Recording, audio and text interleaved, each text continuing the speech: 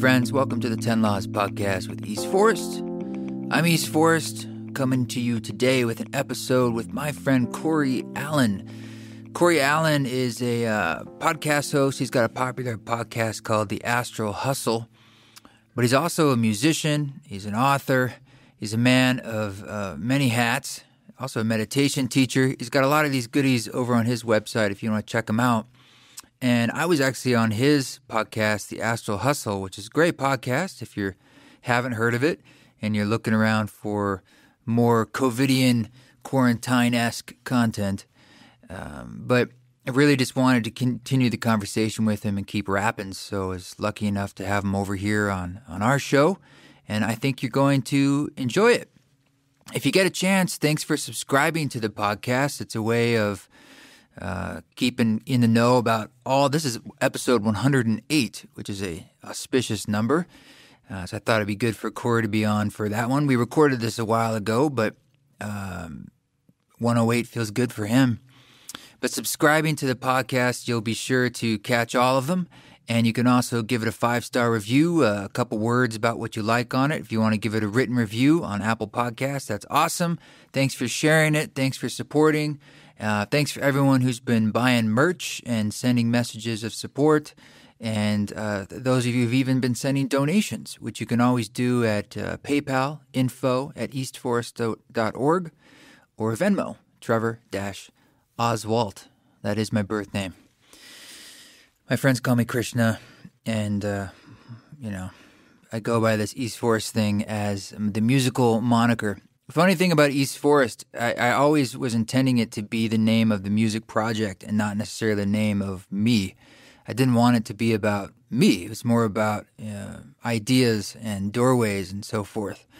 But over time, like I'd show up at shows and people would say like, "Hey East," and I would first be confused, and I'm like, "Oh right, they're calling me that." And uh, I would be embarrassed, so I would just be like, "Yeah, that's cool." And then years go by, and I'm kind of used to it. so um, it's funny how those things happen. All right, so let's get into this amazing conversation with my friend, Mr. Cory Allen.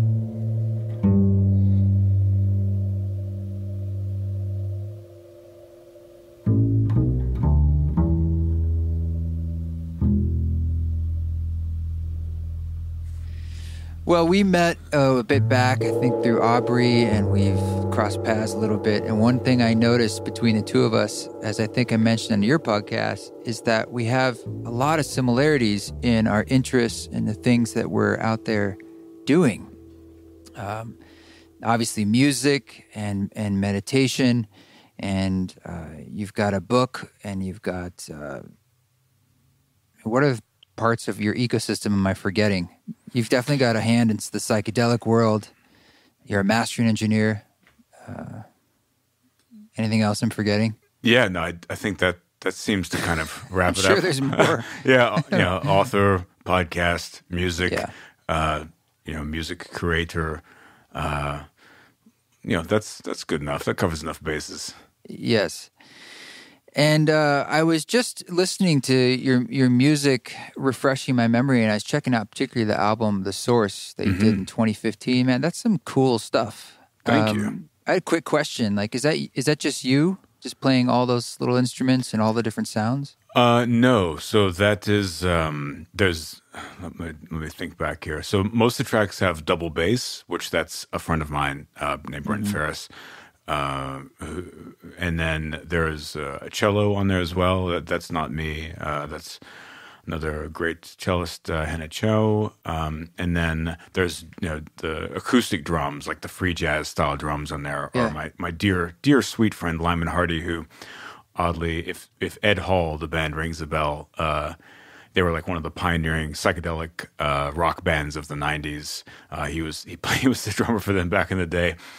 And what's funny about that, anyway? Um, oh, and so all the other instruments, like the uh, all the percussion, the Fender Rhodes, you know, the synthesizers, uh, all the other stuff. That's all what I did uh, on the album. But I, I wrote all of the you know music, of course. Oh, and the tanpura and harmonium and all that stuff. That's all me. So, what's Um, the process of recording that? Was it improvisational? Oh yeah, um, yes. So I, a lot of the my music that has been with other people uh, where I've used musicians or, or worked with musicians. I uh, I like to set up like conceptual rule based things a lot of times. So if you were to think of you know back to some uh, kind of 20th century classical minimalist music or something like that, where it'll just kind of be even written rules as opposed to uh, written score or something. So, for example, uh, on my album The Great Order, you know, I was trying to replicate, you know, all my music from start to finish in the catalog has been me working with internal ideas like and concepts that I'm trying to express musically somehow. And if you kind of track them and, and follow them, you can see my own personal development aligns with the development and the change in sound of the music.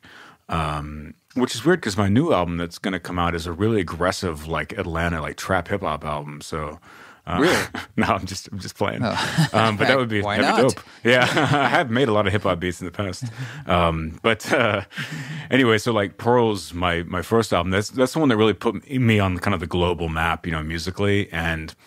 It's a very, it's like Fender Rhodes with a lot of like granulizer and, and stuff like that, and and then a lot of just really spacious, open sounds, and um, I think that metaphorically, you know, I was trying to find that presence and that timeless sense of uh, attention and awareness uh, whenever I made that record. You know, that was 10 years ago.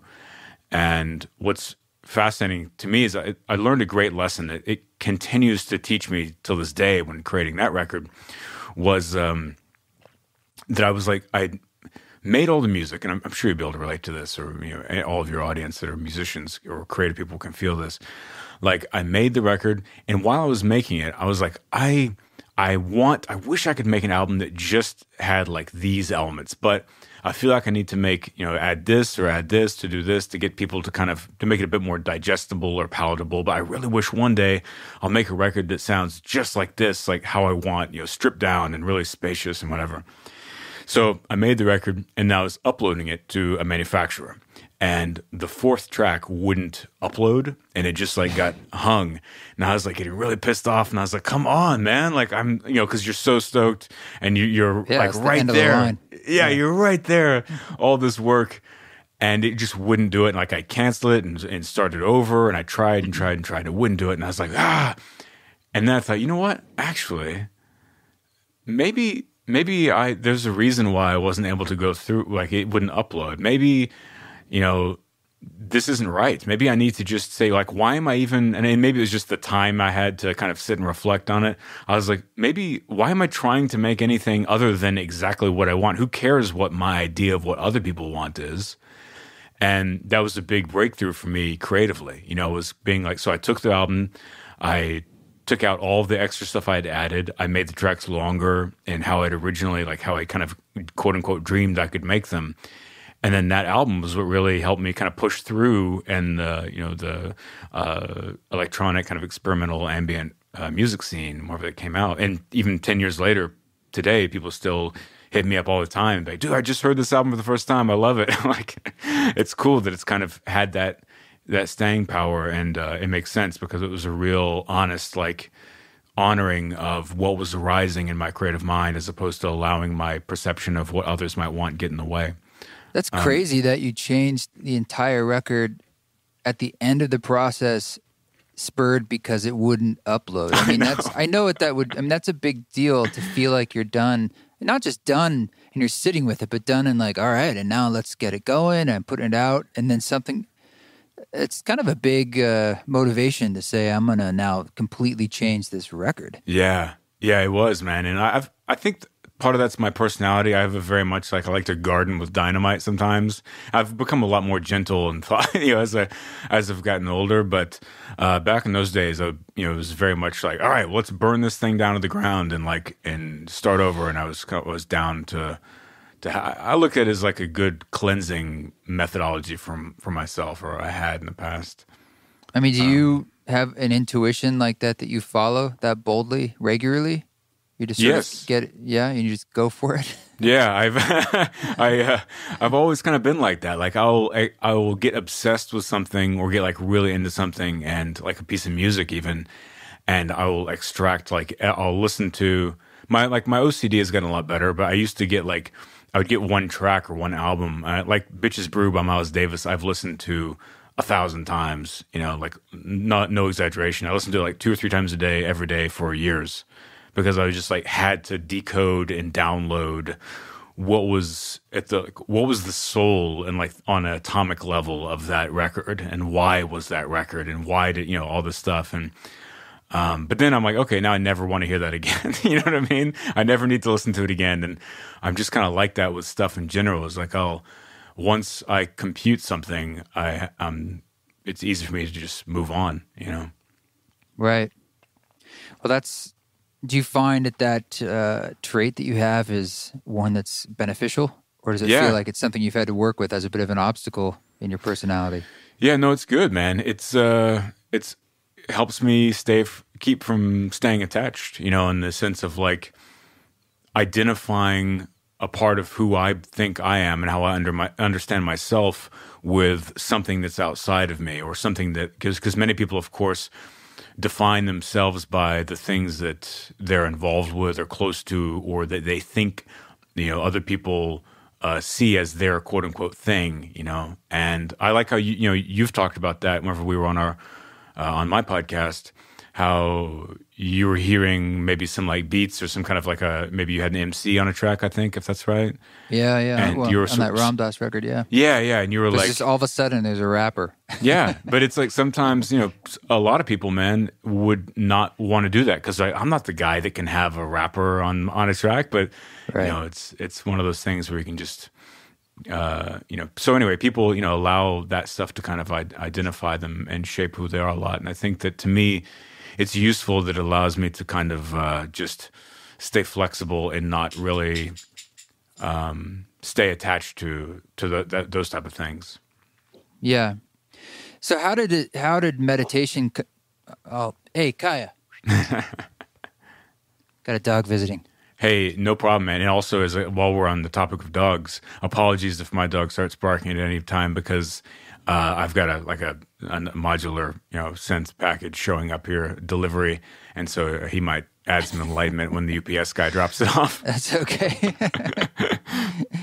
yeah. How did how did meditation come to play a role in your life? Um, what was the motivation of that, or was that something that came from like your parents, or your childhood, or Uh, How did that yeah, in? It came as a response to my parents in my childhood. um, and so, yes, you know, my my parents, neither of them were even readers. Uh, they were. Uh, my dad wasn't really religious. You know, he's he's dead, but uh, he wasn't religious at all per se. Um, my mom was kind of like a, a safety Christian. You know, um, it's nice to have the dog on the other side of the mic for once. story of my life this week?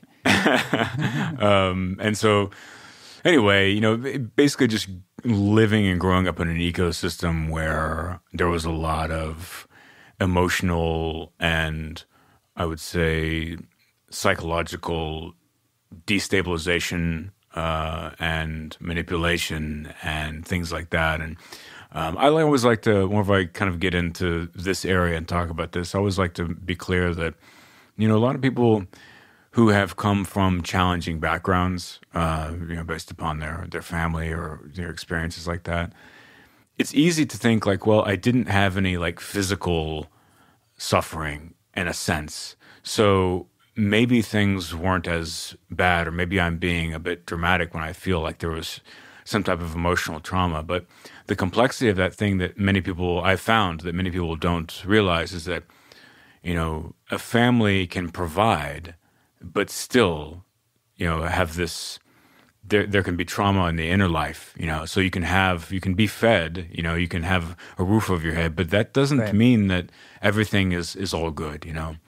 Um, and so because I, uh, you know, grew up in a situation like that, uh, I always had a lot of anxiety, and I was very resentful and uh, angry, you know, at my uh, father and the way that he kind of chose not to really care that I existed too much, and uh, you know he disappeared. You know, really, you know, they, my parents got Wow. divorced when I was a little kid, and um, and then uh, so yeah, there's that, and then just kind of the yeah, the, yes, the uh, emotional and psychological manipulation and being you know having unconditional or I'm sorry, conditional love and things like that. You know, from my mom growing up, um, and there's a lot more you know darkness that we could go into, but there's no real need A whole right life, now. yeah. Yes, yes, and so basically what happened was. Um, Whenever I was in my teens, I, you know, I'd already started, you know, taking psychedelics and things like that, and um, I heard someone say randomly that they. Uh, I heard someone say Nietzsche's name one time, you know, and so I just kind of randomly overheard it. Certainly wasn't at home, and uh, then I was going through a bookstore and I saw that name, you know, on a book, and uh, I was like, "Oh, there's that name. That's cool." And we all feel a bit out of sync and alienated, of course, as teenagers. Um, I felt particularly incompatible with everyone in my life system, you know, except for my brother. Um, we're similar in a lot of ways. And I think that whenever I went over and I picked up that book and I started reading it, I thought, oh wow, this is um, this is how I think. It's not necessarily what I think per se, uh, but it's how I think. The- you know, the the conceptual flow of information was so it was like a complete con- consciousness amplifier and like resonant moment for me where I thought, holy As a shit. teenager, Yes, yes. yeah, that stuff can be kind of thick. Some of the Nietzsche, you know. Oh yes, yes, yeah. I became and I got really obsessed with them, and I, uh, you know, got really obsessed with Western philosophy. Um, and then I, after that, it's you know because a lot of the Western philosophers reference Eastern philosophers, some of them do. Um, I moved over after I felt like I digested a lot of, and I back to that obsessive personality thing. I mean, I would just like I would read for like eight hours a day easily, at least four hours a day most days in the Wow. morning. Just go in my room, close the door, and I would like play guitar for, you know, also a lot of times for eight hours straight until I fell asleep with it. Like I would lay in bed with it on my chest, just trying It's a to like 16 hour day right there. yeah, yeah, not on the same day, but uh, yeah, um, but sometimes um, because it's like you know, it was a little sanctuary, right? It was like this zone, and also this is a bit of a, a side topic, but um, I was obsessed with like I always thought about playing guitar in geometry, not in uh, notes or or chords or anything like that. So I was like a death metal guitar shredder, you know, whenever I was that that age, and so. I always would I would just stare at the fretboard and think about the way that like each uh, how the fret wire in each strings, if each of those are like a nodal connection point on the fretboard, the geometry of finger movement through those nodes creates particular sound and, and sensation and, and resonant quality and then how, how you move those things. It's like this unfolding of a geometrical pattern. And I became like obsessed with understanding that the geometry of like the guitar fretboard, right? And so I would sit there and just like try and decode the shapes and, and understand it on that level um, pretty pretty exhaustively. I was just thinking about something like that with piano today. I was just Mm. over here and doing some little recordings, and I, I was just noticing how it's often like the way I'm kind of thinking about it in my head, or so almost sometimes even visually, is those is like patterns. Yeah. You know, so I mean, obviously how they sound, but there's just there's there is definitely that. I like that idea of geometry. It does. It, Yeah. It's a good way of kind of looking at it. Yeah, that's how I've always thought about music from the the creator point of view. You know, or interfacing with an instrument, or even uh, if you're working in a digital, you know, workstation, the geometry of how all of the actual sound files are aligned and how they move in, you know, how they're vertically and horizontally aligned. That's like that's really uh, important and something I focus on, or I naturally am attuned to that as a point of focus. Um, so okay, so Si- back to side note though, question. yes, Do you ever like uh try to not you know the, the the idea of not looking at the screen sort of like Mhm. to help you kind of tune your ears because sometimes when we're we see the geometry of like especially in a in a DAW like how things all fit together it sort of like changes how you hear it oh you know, yeah, how you see it yeah, yeah. No, I, I definitely do that, man. Where I don't, uh, I don't always just gaze into the the DAW screen because a lot of times, you know, as you were just saying, like you aren't the the listener expectation is an important part of musical writing to me, and and so if you're looking at kind of behind the curtain and you see when the audio file will you know happen in time, you're right. Uh, you know the illusion Yeah. is broken, so you know it's coming, and so you, you can't feel it in an organic way. And um, so I, I will play things and and uh, you know turn the screen off or um, just get a little hand mirror and make hard eye contact with myself. no, just joking. um, but anyway, so all right, so back to the thing. Basically, then I got really obsessed with uh, Eastern philosophy uh, after Western philosophy, and uh, yes, feeling a lot of just complete, you know, uh, emotional suffering, a lot, tons of anxiety because of just kind of being uh, gaslit, you know, constantly, uh, and never knowing what was coming, you know, what was lurking for me uh, around the corner as far as the the vibe in the house was going to go, and just having this constant resting fear.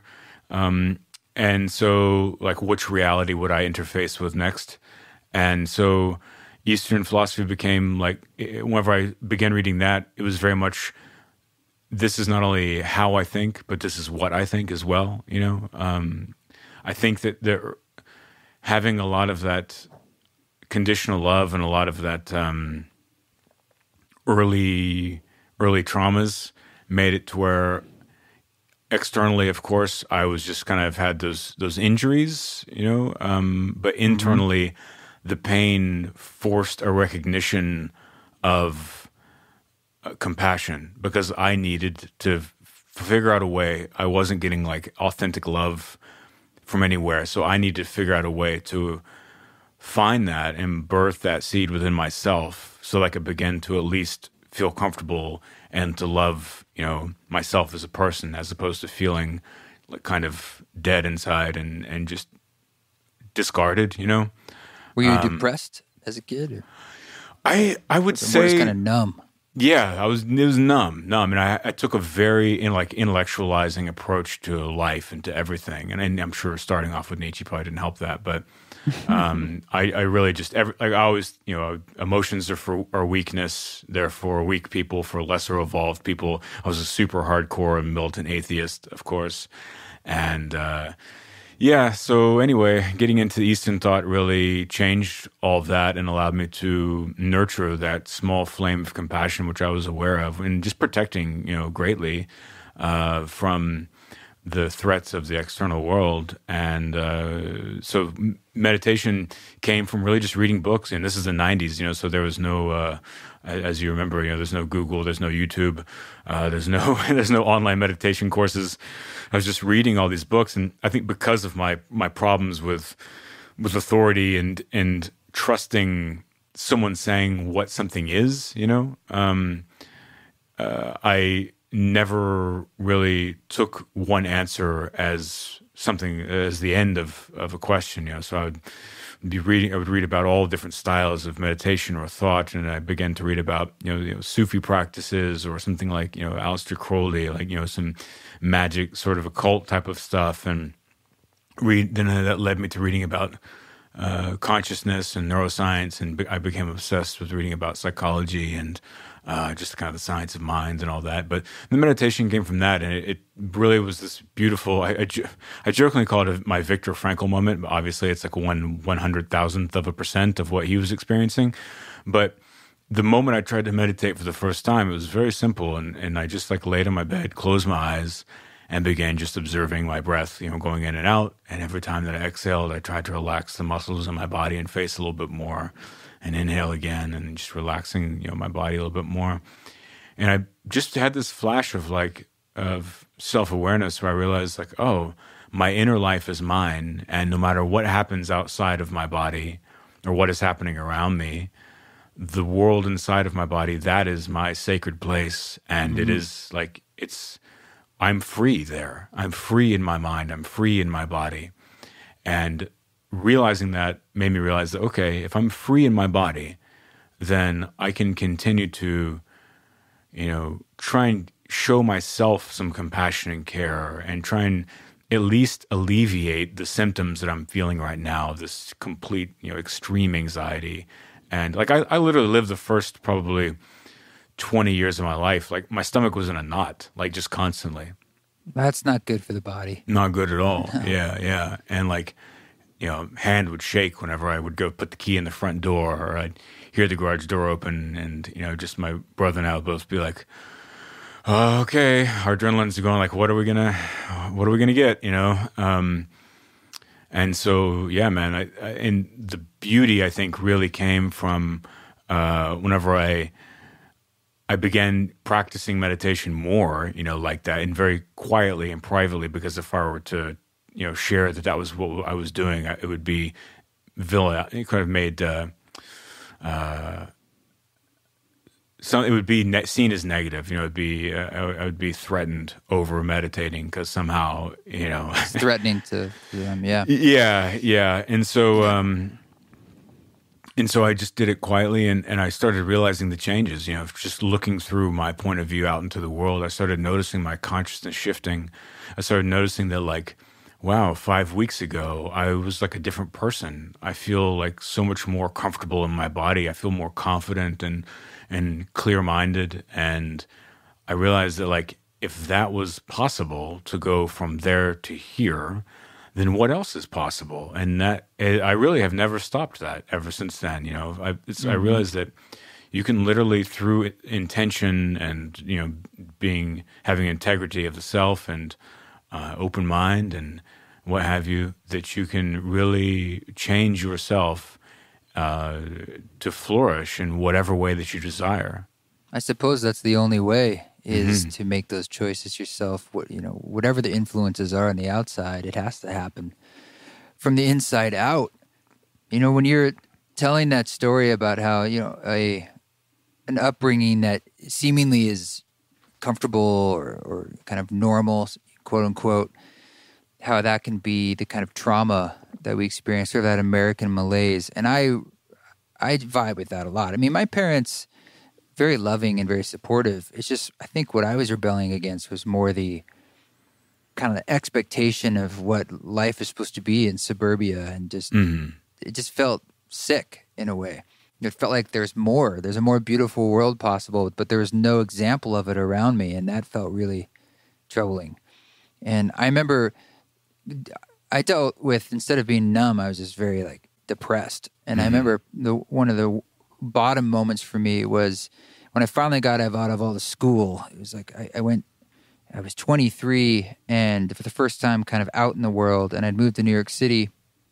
It was right before 9 11, and then 9 11 happened, and everything was just terrible and got worse and worse. And I found myself in a really difficult depression. And I somehow ended up at this psychiatrist who was supposed to be like one of the, you know, the quote best in New York City, had all those sort of accolades. And he could not figure out why I was depressed. Mm. You know, he kept searching for the like, well, were you abused or did this happen or that? And like, it was just, he was totally blind to the thought that like perhaps the soul just wants to sing and it doesn't have a way to do it. And it, it's such a blind spot sometimes in, in psychiatry, psychology, at least certainly it was. And I would imagine in many parts it still is. But, um, kind of understanding the the hidden wounds in our past obviously they're going to be obvious wounds at times is a good way to try to forge our way forward mm-hmm. and for mm-hmm. you i'm hearing about how all this has you know led to these interests of yours that kind of obviously led to who you are today and now you're right. you're you're sharing that with other folks um, is it okay if I ask you a bit about your book? This now oh, is the course. way. I have yeah, some questions about it. that came out was it last year or 2019? Yes, yes, uh, September of of 2019. Yeah. So I haven't read it, but uh, is it does it get into these this personal journey, or is it more conceptual uh, about um, your ideas uh, and techniques around meditation? Yeah, it's both. Um, it's you know the last probably fifth of the book is on meditation. It's actually that part of the book's actually called on meditation um, because, and I call it that because I feel like that there have been you know millions of words written about the experience of meditation or what it should be like, and I feel like that's a bit of a detriment to the individual who's coming to it for the first time, or even someone who's seasoned in meditation, and that I think talking about you know the area around meditation and then getting someone comfortable and equipped to then go begin doing it themselves without any, you know, without a bunch of bizarre culturally influenced expectations or anything is pretty crucial to uh, having one really get an authentic meditation experience at, at a deeper level. Uh, and And, and is yours based on sort of your own practice or an amalgamation of particular lineage, or how does it? How does that yeah, come to be? it- it- it's all uh, you know things. All the things I studied over the years, I took like, like just what tidbits worked for me, you know, and applied them to myself, and then I just came up with a lot of other practices and approaches uh, over the years. Just kind of that. I don't know. They they are flowers that grew in the mind that I plucked and said, "Oh, that that's an interesting idea." Self continue to do that." experimentation. Yeah. Yes, lots of that, lots of that. Um, so yeah, uh, it's that the meditation section is you know there's some basics, but also it goes into um, some specifics that uh, really work well for me and things that I've I've c- come up with. Uh, so the rest of the book is essentially uh, about mindfulness and presence and um, how there are a lot of great works. On, you know, this is a funny thing. I, I did like I don't know, like fifty interviews whenever the book before the book came out, and I heard a lot of people say in questions like, you know, there's so many books on mindfulness out there. What makes yours different? And I'd be like, what are your mm-hmm. top three? And they're like, uh, you know, Top three what? my books on mindfulness. You know, so Oh, it's just it's oh. a funny thing that people say. You know As what if I mean? you're the expert on it. I don't know. Yeah. No, no. Well, I mean, people say like, "What makes your your book unique?" You know, and it's like, well, what are the other ones that you like, like amongst all these? And they're like, I have no idea. It's just kind of a funny little schism of like of thinking to me. But um, the point is that the the great some of the great works, you know, something like. Uh, Be Here Now is a great one. You know, Power of Now, which is actually I haven't read, but uh, I know Power of Now? Uh huh. Oh yeah, that's a good one, man. That one was a big one for me in like 2008, 2007. I need to get into it. It's like the Beatles. Like I, I'd never listened to the Beatles until this year, uh, until last year. Come on. I'm I mean, you heard it obviously. All Oh, over the sure, place, sure, sure. I heard you it. Never like- like dug in. Yeah, yeah. I never did, uh, and really, I came to it through the like uh, the back door. Like I came to George Harrison's solo work and was like, "Oh wow, his early solo work is amazing." Mm-hmm. And then I started listening to some of Paul McCartney's early solo work, and I was like, "That's amazing." And then I went and listened to the Beatles, and was like, "Oh yeah, uh, they're good." Turns out. Yeah, Um, you got it. yeah, uh, I hope it- it's be funny if you're kind of like the Larry David of music fans. You're like, oh, the Beatles. They're just it's not my thing. That's how I always was. Yeah, I was always like kind of resented. I was like, they're fine. I know people like them, but they're just not. I'm just not interested. And then uh, it happened to me with Frank Zappa as well. Like I was, I couldn't square. I think from I was so obsessed with like uh highbrow music you know I think it goes along with the super militant atheist you know uh teenager mentality Yes. so whenever I was that age, it was like death metal, gangster rap, black metal, or like 20th century classical music. You know, like soup, like Stockhausen and Ligeti and Xenakis and and whatever it is, like the most complex maximalist compositions possible. And so Zappa, you know, he was really into Varese, you know, and um, but I would try and listen to his music, and I'd be like, "You're not allowed to make such such technically complex and proficient and savanty music and also have a sense of humor about it. That was like uh, it always annoyed me like i couldn't square that in my mind as a as a kid. And uh, just recently i was like you know i should go back and like revisit zappa because uh, from some conversation i had with someone and i was like oh yeah he's a genius um yeah man Yeah, I discovered a lot of things late in life too, as well. yeah Um, what role in this whole? I mean, you spoke about it a little bit, uh, but with psychedelics Mhm. as a as a way uh, of pushing you along on this journey. Yeah they were they were huge man huge and uh, LSD, you said, or Sure. things, or yeah well, for me, it was like mushroom experiences. If there were a handful of them over the years that were seminal. Um, Yeah. I don't have much experience with LSD, you know, personally. Hmm, So yeah I'm always curious, you know, what compound it is, or if there is one. Yeah, that was what was available whenever I was in high school. You know, that Which was, where? Where were you growing up? in Austin, still in Austin. Austin, yeah. okay. Yeah, and I think there was kind of like a. I'm not sure if it was nationwide, but certainly in Austin there was a bit of a a psychedelic renaissance in the '90s. But it really aligned with kind of house music and raves and stuff like that. So there are a lot of raves happening uh, all the time in Austin, and what's this is a trip. Like I've I've thought about this uh, as an adult, you know, as a 38 year old. Um, whenever I was like 15, 16, my friends and I would get in the car and like drive to a club downtown where they were having raves, and it'd just be like dudes standing on the sidewalk outside of the club, and you could just walk up and be like, "Hey, you have any acid?" No, yeah, sure. Here you go. All right, cool. Thanks. Here's five bucks and then just like that was it and just the idea of like to me you know thinking of a 16 year old or something going to some random stranger standing on the sidewalk and buying you know on the street downtown at night Yeah. it's completely so ill-advised and dangerous and stupid but Yeah, know. yeah. I, well, I look at I mean, look at me. I'm not exactly. I don't look like a drug dealer, but for some reason, I don't know if it's my weird hair or something. But I always have people coming up to me asking for drugs. no, that makes Yeah. sense I, I remember one time I, when I was living in Brooklyn, I was in Dumbo, so it's under the Manhattan Bridge. Uh-huh. Kind of be like your s- prototypical scene of like buying drugs, like you're under a bridge and the subway's going over. And Some guy just pulls up in a car with like Jersey plates, and he says, "Hey man, um, we need drugs." And I was just like, "What? What? What? Who does this?" You know? yeah yeah seriously you answer with a literal like okay well i hope that you find them you know like most people are in Oh need well, there's something. a bar there and a CVS up there, and you know, here's a, here's a television. yeah um, but it sounds like for you, they they did play a bit of a role, or is it more kind of minor? Oh no, no, it was quite a big role. Uh, Mm-hmm. you know, in that time, um, then you know, I was taking them, and I, I always took them pretty much um, as an investigation of mind, even from the beginning, and not really ever recreationally. Like I never, you know, would be like, oh, let's take some, you know, psychedelics and go sit at the lake or whatever like that and hang out.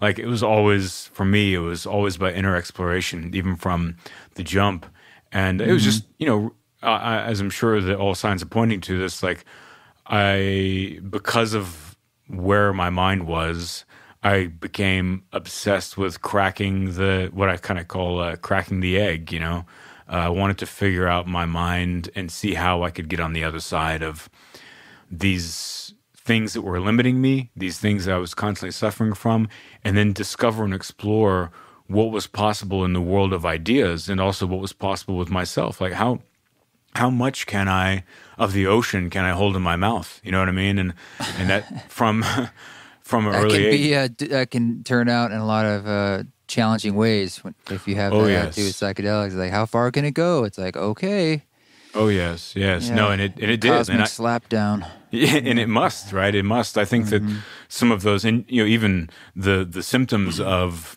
those experiences can lead to similar disillusions, which ultimately I think are necessary. On maybe not necessarily, but I think they're sort of built into the path in some ways. Like Mm. if you were to, you know, someone was to begin taking a bunch of psychedelics, they might move f- into the next chapter of their life, then kind of believing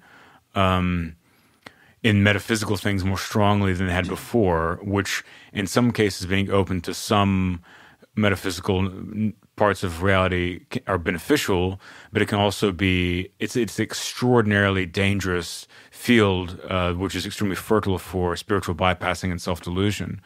And my main interest has always been in truth and in like something usable and something like how can this benefit and you know increase the, my and, and our self awareness and uh, effectiveness as a person, you know, as a force of compassion and, and equanimity, as opposed to like, you know, using it as an almost self manipulation to create an answer uh, instead of acknowledge Well, this reality. is an important point you're bringing up. Um, I think it's a Jungian idea, spiritual bypass. Hmm. Either way, the notion that you're kind of missing the main show by getting wrapped up in maybe the surface exploration uh, of your spiritual obsession or w- what have you.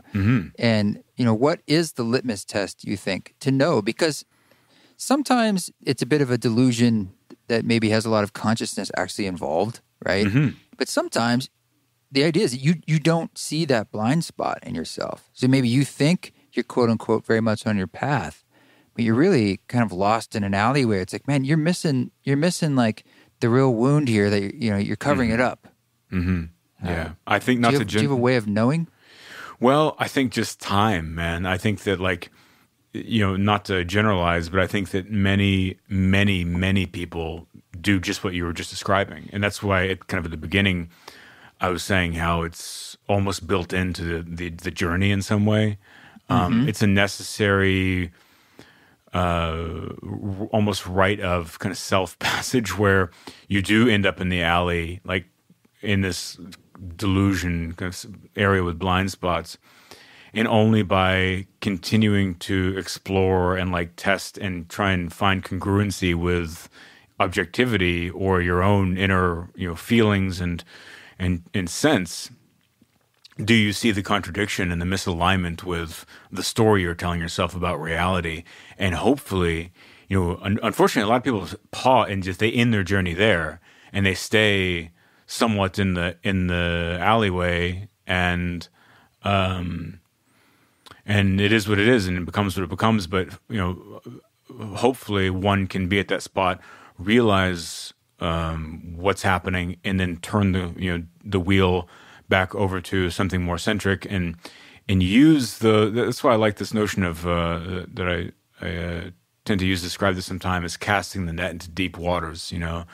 Um, it's important to cast the net into deep waters, but it's it's just as important and, and crucial to then draw that net in and sort through the trash and jewels that you might have discovered and integrate those. So you now know now like I know from being a you know a swerver, I would say you know this reality swerver of being like you know this Nietzschean like everything is it's all scientific materialism, you know, and uh, complete uh, reductionist, you know, of, of philosophy and of the natural world and the universe, and then taking a lot of uh, LSD and you know I would do things like well to finish that point and then going way out into the other side of being like oh i can think i can change reality with my mind. You know and it, like let me prove that to myself over and over again. You know robert anton wilson was a a, uh, a mentor of mine and i ended up working for him for a little while the author. No kidding. hmm in my What early great 20s guy. yes. Oh yes. He's the best. I have one of my favorite pictures. I have a picture of of uh, him and me whenever i was 22 and he's like 73 or something like that which is Wow, pretty what an honor. Yeah, absolute, absolute honor. Um, but uh, yeah, you know, he uh, he talked about these things a lot, you know, and I, I really Reality appreciate. tunnels. Yeah, that's right. Reality tunnels, man, and um, yeah. Anyway, so I would uh, do you know a lot of exploration, you know, with myself, and um, I would take you know LSD or whatever, and or whatever it might be, and, and do these things where I would like create my own float tank, you know, in my house. I would like uh, turn the go get in the uh, the bathtub and like turn the water on and like put the stopper in there halfway and then have the water like dripping like just running just enough so that there was always warm water like flowing through the bath and then like close the door and um, we might have talked about this on on my Yeah, podcast actually and I told you I'm glad you didn't drown. yes It's like the classic LSD story of drowning in a totally, bathtub. Yeah. totally, man. Um, but it was a real. Uh, I think doing those things led me to you know, and just continuing to explore with my mind and and uh, partake in the research of psychedelics allowed me to ultimately. I think it, it made my way of thinking a, a lot uh, more flexible and modular Yeah. instead of having this fixed script that I was stuck to. Do you think that like any kind of story that we tell ourselves, in a sense, like you're like, you, know, you can look back in our lives and say, I held the story of being a rational materialist, or I held the story of being a nihilist, and then I held the story of being sort of a naturalist and then a humanist or whatever, and here I am in this story. Like they're all a form of bypass. Mm-hmm. because any story is just that it's a story it's a, a mask on top of the reality which is sort of uh, this from a zen perspective maybe a, a nothingness Yeah. a, you know, just a plenum of being, and we're always grasping for a story, an explanation in a way. And the one that we have currently is usually our most current version, the the OS that we're that we're working on. Yeah, that's this is the topic of my next book, actually, Ah, um, because I think it's increasingly important uh, in our, uh, you know, high velocity, high speed, high complexity, uh, you know, technological age of. It's really a, we're in almost in a war of reality right now, battle for reality, for uh, a, a claim to objective object, objective reality, I suppose sort of a phenomenological punching match happening right now in society and in our species. And I think that um, well, the way to help people wake up from that, of course, is to first identify uh, the fact that it's happening at all. So the fact that we do use narrative thinking to, you know, it's just how we're designed as you know biological critters. You know, being animals, like we think of our lives, we must think about them in stories because the the way that we think and the way that we interact with you know space and time and ourselves and our uh, self understanding and so forth is taking the constant bits of information that our minds are scanning. You know, we always have done this for like hundreds of thousands of years. We're scanning for bits of data and then kind of capitulating this image, this impression is what I call it, an impression of what is. And then we almost must believe that that is what is in order to then have the the ancient brain, the archaic mind, have the will to move forward and to have its meaning mapped so they can believe that it shall continue on as an organism, right? And the story is the almost the carrot that we we hang in front of ourselves to walk towards. And that's why people get really upset whenever you disagree with their story. And something like social media, where it's it's creating, you know, like the Twitterverse has created this just wasteland of uh, toxicity because everyone is arguing on behalf of their stories. And uh, when someone is, you know, their story is challenged, it feels like like people's stories about themselves are so rooted deeply into their their the meaning and symbolism they apply on their own egos. that Whenever the story or the concept is challenged, they feel like, and it, even worse if it's disproven, then they feel like they are being erased. Their It's ego, their- identity. their, Right, your capital self is being identity. challenged. Hmm. So they literally th- they have a visceral response because they feel like they're being attacked, like physically. Mm-hmm. Because like if they, if I'm being erased, I'm under attack, so I have to fight back, and that's like Mm-hmm. why you know something like Twitter has become the cesspool it is. But of course, I know you know this. But uh, the real reality is that all of those narratives are illusions. None of them are true. Not even the one I'm talking about right now. Not even me explaining this narrative thing is is real. It's just this this uh, bisected entry point to as close as I can get with where I'm at right now and how I'm equipped to think and talk about what is. But Yeah. even with all of my model agnosticism, I still have to remain even agnostic about my model agnosticism. Well, anytime we look back on our lives, we look at the stories we've held or the opinions and beliefs that we ha- that we're holding on to, and they've inevitably changed. And it must give us the pause to think that whatever I'm holding on to now, I will look back on and have a different feeling. And You Yes. got to loosen the grip on that because Yes. it's it's just that it's something you're holding, and uh, holding as a form of creating an identity. Mm-hmm. Uh, and there's Which is necessary, right? As, as we were it's a tool yeah so it is a bit of a paradox Yeah. uh, it's that idea you get into these sort of nuanced d- discussions about uh, how we have everything is perfect yet we have karma in a way. Right. and uh, people it's maddening and a- people get angry when you say these things. It's like well everything you know th- it matters. And i'm like yeah it does. And it doesn't. And I'm like, what does that mean? It means nothing. And everything. Yeah, It's like, exactly. that's what the poetry is. That's what the music is dancing around. Uh, It's there isn't an answer, and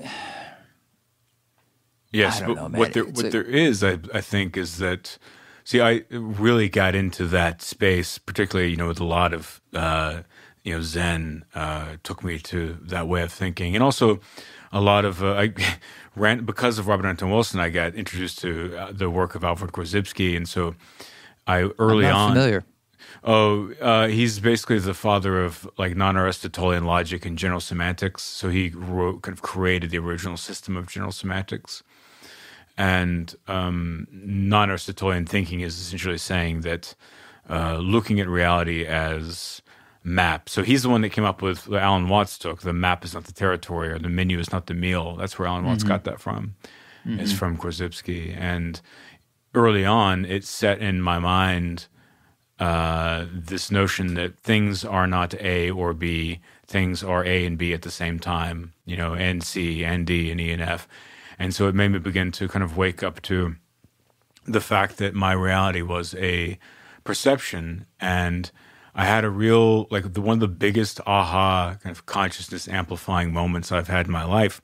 And it's one of the most important, and I, I it's something I I talk about it uh, frequently because I really it, it's so valuable. It's like it leads to so much more peace and understanding and the possibility of compassion all these things uh, and a, and a re- massive release of suffering. And that is simply to realize not only not only uh, intellectually, but but live and try and experience the fact that you what you perceive to be reality is simply a a perception. You know, it's just this your nervous system is abstracting the world outside of your skin and all of your senses are taking in this data and binding Filtering. it together yeah. based yeah. upon your past experiences and your cultural reinforcements and your genetics and your own life script and the, the chance of what you've you know ideas and, and even the sequence in which you interacted with ideas or things or, or whatever build this filtration system and this whole script and story of how you perceive what is and realizing that you're just taking this reading from an objective world is so powerful because you realize that oh we're all like these little flashlights you know just like trying to shine a little bit of light onto this territory that's out there that is really inaccessible. Well, at least i believe it's inaccessible. I've talked to some neuroscientists that disagree.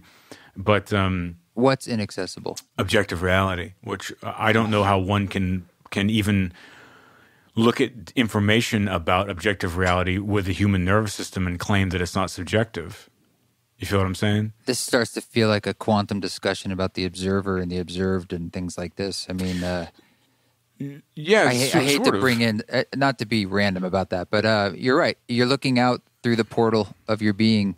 It's hard to be outside that, and maybe the only way to do that is in states of non-dualism, which does that ever truly exist in a pure form you know? Yeah no i don't think you can do it. I think you can become aware that it's happening and that's all you really need. That's all you don't mm-hmm. need to you don't have to see objective reality because honestly it wouldn't make any sense. You know if we could observe what is in its totality outside of the filter of the human mind and nervous system then think about like just as a as a what quick, would be the point? Yeah. Well yeah what would be the point? It would be static you know on the radio because you think about like the the vantage points through which you can look at the universe are human. You can observe the the way that a human sees it. You can, the, you know, a rat sees. I mean, sorry, a, uh, a snake sees in heat signatures. So they see thermal view, like the predator. They see a, a thermal view of the world. A bat hears. They have echolocation.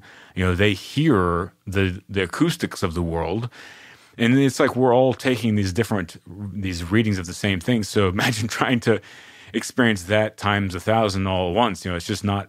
It's not. Doesn't seem yeah. possible eh, or necessary, right?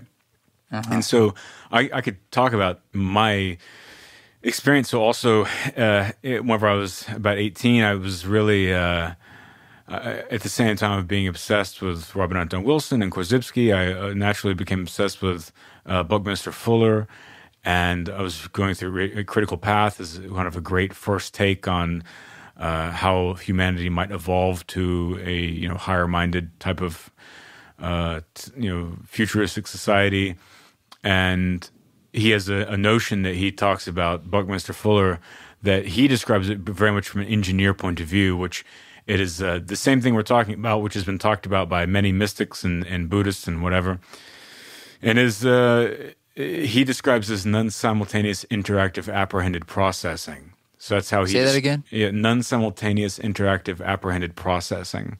So sure. that's his yeah. You feel that, or are you, or are you playing? Oh, I feel it in my heart. No, I, that's just a, a word salad. But uh, Ah, okay. You say non or yeah. none? So none. Well, he says none for some reason. none. but- That so, that lost me at the beginning. I was like, what is none? so basically it's non simultaneous so no, it means that as we're perceiving reality we have our singular vantage point and view of reality based upon where we're at in space time and that all other events around the world and in the universe are continuing to happen outside of our realm of awareness or observability. So it's all happening simultaneously but but none so life is in a spontaneous flow of natural chaos but it's happening none simultaneously because we are perceiving it from a fixed location from a fixed you know sense system at one time and then so you know for example for anyone that's not into these type of ideas like as we're having this conversation you know someone just tripped in a crosswalk in shanghai someone's going up an elevator in new york right now someone's having sex in paris someone's having a glass of wine uh, in you know argentina or whatever. You know it's all happening right now. Someone's being born someone's dying. Uh, and so uh, there's that. And then the apprehended interacting processing bit is apprehending, just means that we are taking in that information, right? So we're apprehending it with our nervous system and assimilating into our consciousness. Um, interacting with it is that reality and our lives are a cyclical feedback loop. So we're in a consistent and constant, inescapable flow of taking in what is in reality through our filtration system and then feeding back and resonating with the information we've received. But it's like a circle that's like if you drew a circle with little arrows pointing into your mind and then back out into the world and then back into your mind out into the world. That's what this flow of perception and expression is is like. Sounds like Um, a toroidal uh, thing. Right, and processing is a bit of just uh, it's analysis. It's it's being you know self reflective and trying to understand this process and, and yourself in in the midst of the process. Right. So that phrase, for whatever reason, you ever get like earworms? I'm sure you do with music. You know, where you you hear this melody or a lyric and you just get it's in your head. You hear it over and over and over. Yes. So I had that as an earworm, the non simultaneous interactive rapid processing. And I was walking That'll around. eat your brain, man. That's one Oh, of those. it- it- yeah. it a- literally- that's it a did. Tapeworm. Yeah, I was All eating right. the back of my eyeballs. Um, and so I was walking around, you know, like a mental patient, just like muttering that to myself. Oh, I worked in a bookstore at the time. And I was just walking around muttering that, like f- under my breath, just thinking about it for a long, long time. And one day I picked it back up. I was muttering it, walking around. I go into the bathroom, and I, I actually I had this in my. I might put this in the second book, but I had this initially for my in my first, and now is the way. But I took it out. But it was a section called "The Unbearable Lightness of Peeing," and uh, I went into the bathroom, and whenever I went to the urinal, whenever I started peeing, I had this. I was saying that phrase, and I had this that knowledge turned into lived embodied experience and it was like the movie set of my life all the walls fell down and i saw all the cameras and it just i had this uh, awakened moment and i don't mean enlightenment i just mean like my consciousness got raised um, to where i realized that i was making a perception like i was living the fact with the awareness that i was perceiving reality and that never went away it's only deepened you know it's one of the most beautiful like blessings that I've had in my life is to to have that sense of awareness. And this I have a- happened while you were peeing? yes, and I have a, I have a deep. I don't know how long this podcast is, but I have a deep reason that only came like a decade later as to why it happened when I was peeing, um, which I'm happy to go into if if we have time. But Well, I also would like to, uh, before the podcast is over, if you're willing to actually, maybe you could lead us in a meditation, a short meditation. Oh, too. sure. That's my other. That's the only other agenda piece I had because it makes sense more than talking about it to to end this by diving into that space. Yeah, certainly. So, um, so basically, uh, all that to say uh, that that I, I had that experience. and It was very valuable. Um, and then following through, you know, this this kind of string of ideas that we've been touching on, as far as realizing that you know there is everything is and isn't. We are experiencing this impression of life. There is an answer. There's no answer. It's all this balanced you know, uh, light and dark, uh, it, on and off type of system that we're we're we're kind of trapped in, and um, as you said, that being in the midst of that and kind of the center point of that is very freeing. And a lot of people, you know, that don't have any interaction with these ideas have a hard time seeing someone being able to be happy in that space. Uh, but I will say that one of the the dangers of that space, and this is, um, I think, an important. It was important for me anyway was that I got into that space coming from the hardcore materialist, you know, scientific reductionist, atheist type of space, and even through all of this series of, you know, uh, I would you know, once again as a teenager I'd take psychedelics and meditate for four hours at a time, and and just really I would light a candle every night and stare in it and meditate until the candle I'd stare into the flame and meditate until the candle burned down, you know, um, all these all these different type of things, and I, but I was still very very uh, materialistic about it all until I was kind of like proven till that I didn't even that even materialism is a script. You know what I mean? Um, so I was just playing video games, man. So yeah. it's like, yeah. also, also very valuable, uh, and I was too. But it was the video game of Cory Allen. Brothers. yeah, right. and. Uh, all right, so uh, I kept, kept pulling the cartridge out and blowing on it and putting it back in and seeing if the game worked any better. Um, so, so after all that, I got into this place that I end up in the in the book. Actually, I call it existential paralysis, where I got so tuned out to and tuned in, I suppose, to that infinity and being just at a, in a wash of the chaos and infinity of the universe and you know human existential situation within it that became so overwhelming that and this is when I was in my early 20s and mid 20s is I would like wake up in the morning and just be like you know? From the overwhelming nature of of being able to perceive that non-simultaneous nature of of being. And uh, Robert Anton Wilson in fact is the one that said make sure you open your heart chakra before you open your mind chakra. And I was like, whatever, old man, I got this figured out. It's all mind, no heart. And I realized why that's so important is you need the compassion and patience to be able to perceive uh, a glimpse or even take a glimpse of the totality, right? You need that love to deal with what you, you know, all the darkness and light that you can see at once. And so I got stuck in this zone where I would like walk outside every morning. It's like, oh god like I would it was inescapable for me to not be able to think about like i'm making my coffee i'm like okay this i like water is like this weird molecular structure and like the earth is made of all of this water my body is made of tons of water too much information my exactly. friend i'm yeah, heating up this sickness. water information sickness. I'm heating up this water right now, and where did this kettle come from? And these beans, who invented coffee? How did the fact that you know these people from yeah. from Indonesia, et cetera. We're not meant to know. Yeah. Yeah, and then going outside and being like, all these people are in their cars, and they're like, everyone's having their own narrative experience in their house right now, and then they're all going to get in their cars and drive to these different places, and it's like the you know the veins of uh, the roadways or the veins of our you know species body and they like expands and contracts and every human's like a blood cell right. moving and you know just like all that shit explosion so, yeah so much where it was like it, it was um, interrupting my life you know um, and I realized that like I got into this deep zone of like thinking about meaning there because I'm like, well, what matter? Like, what means anything if if this is all just this blasting static of isms and isness, then like what? Why is there a meaning or symbolism ascribed to anything? Why try? Why do anything? You know why? Why it's not? Kind of nihilistic. Yes, yes, yes. Like why? What is the point of any of this? It's all like just basically. I was trying to attach it to a Zen idea of like, well, and I suppose maybe even like a more Taoist idea of like, well, let me just take my hand off the sailboat and just allow it to all do its thing and become a passenger uh, in this experience. But that, uh, of course, you know, ends in a lot. Uh, to, turns into a lot of suffering, and I was still suffering. And one of the great uh, realizations I had was that when you reach that point in your inward quest, in your inner journey of those crossroads, that is a real crossroad.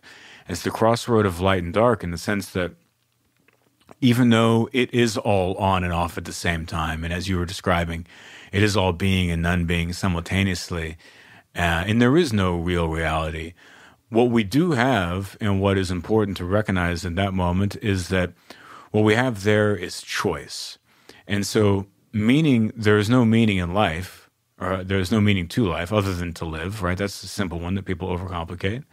But meaning in life is the meaning that you create through your actions.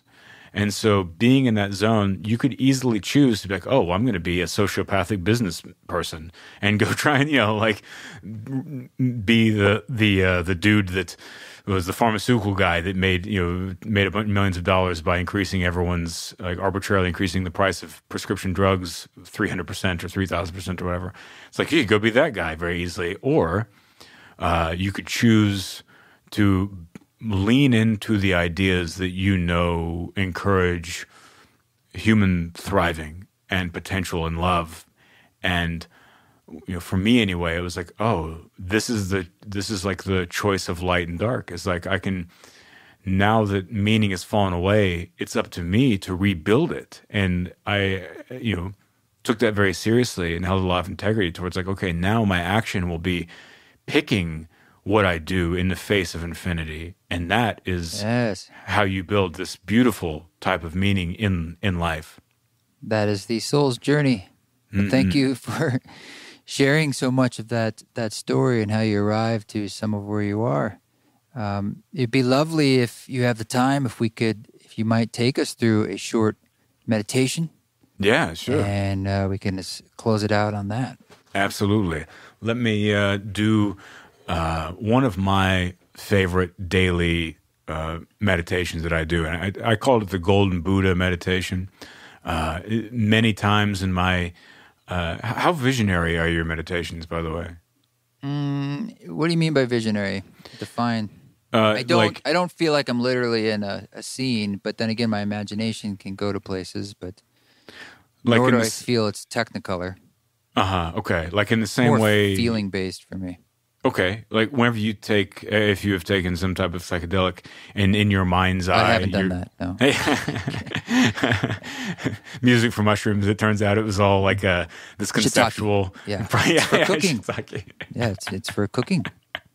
I love that. Music's for mushroom stroganoff. Yes, Um, it's for picking. Music for foraging.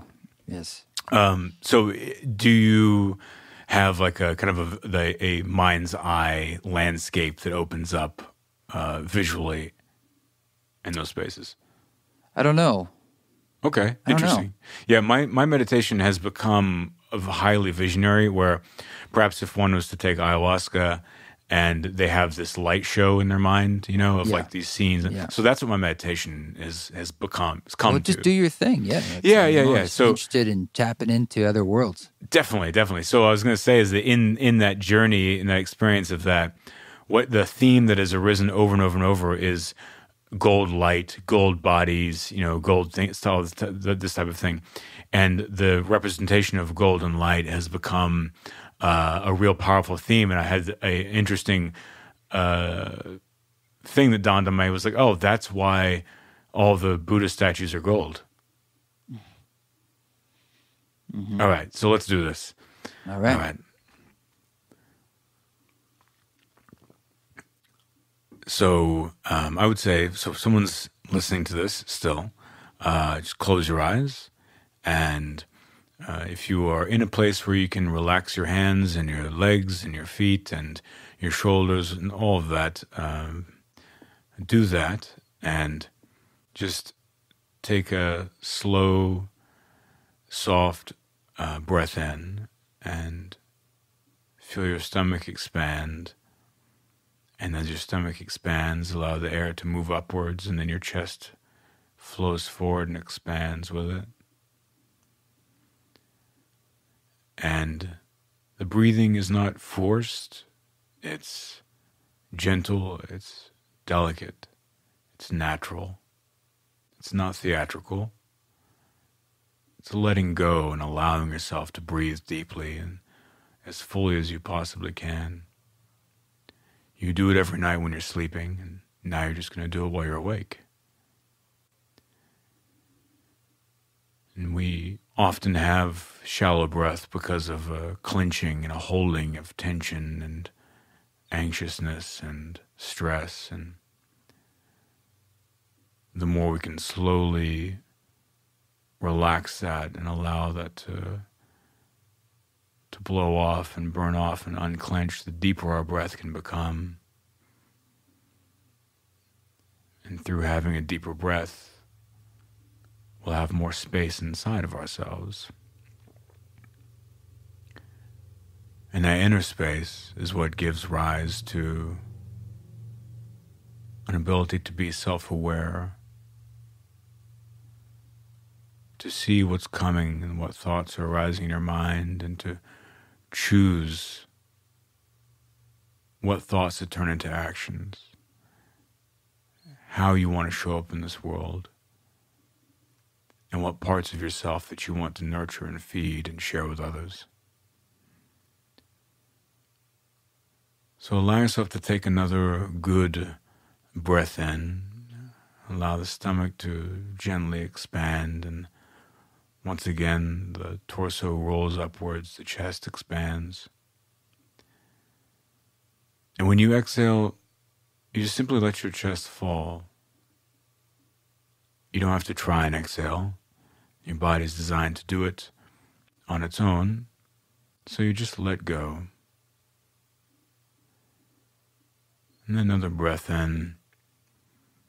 And this time, when you exhale, let all the muscles in your face and your shoulders and your arms and your feet and your thighs and your stomach, let them all relax as you let your breath out.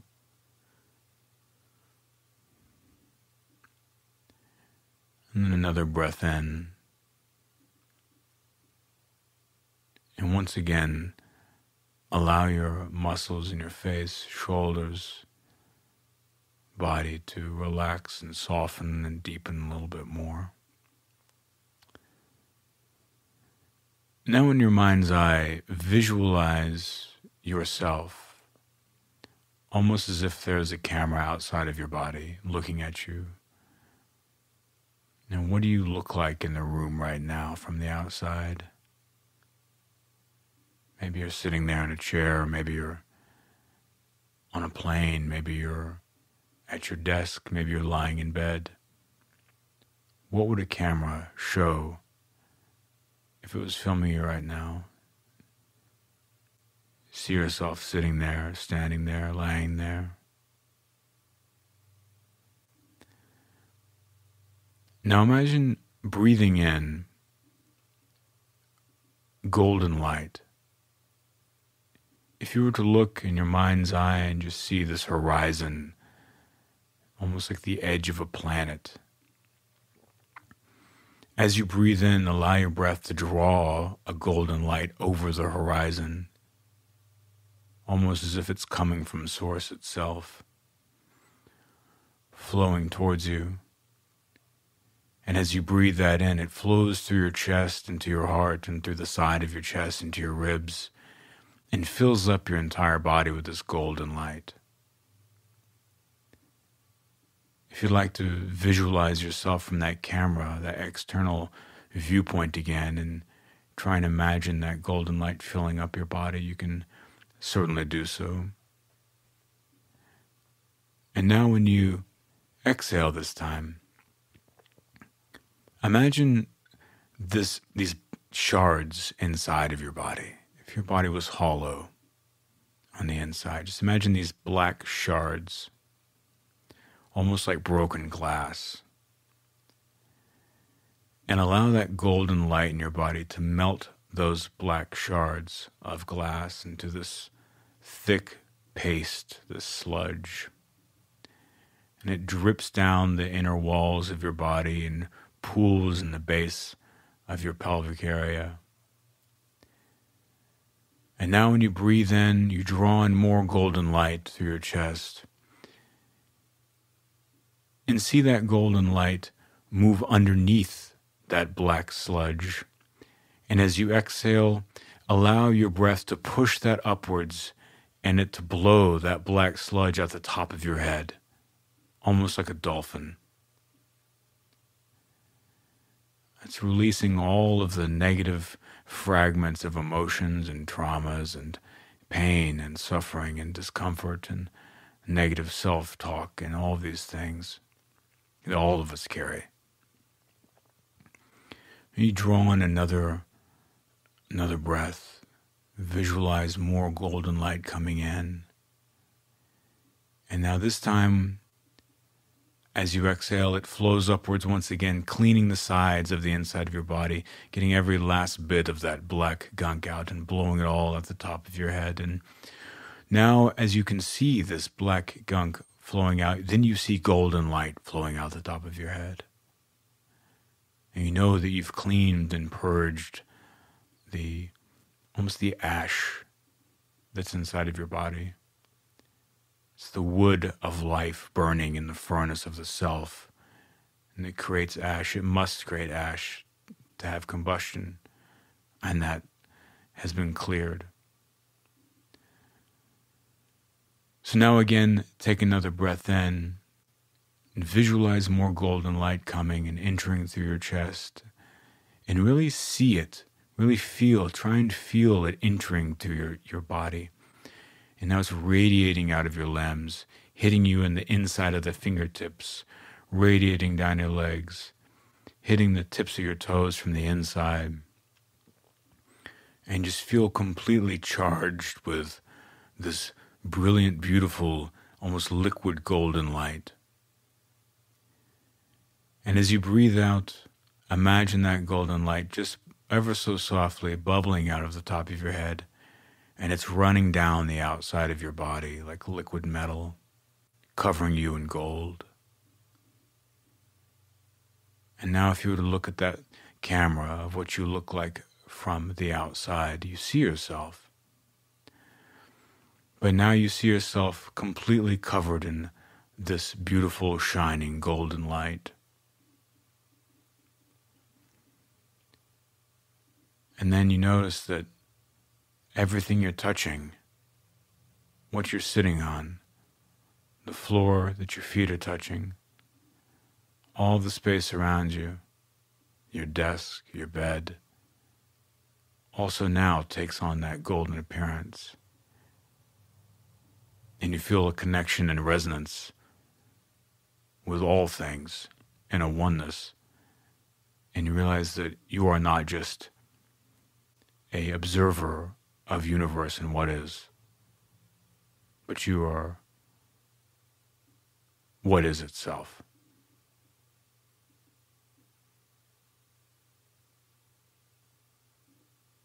All right. Thank you for doing that guided meditation with me. I feel good. Thank you, brother. Yeah, good deal. Um,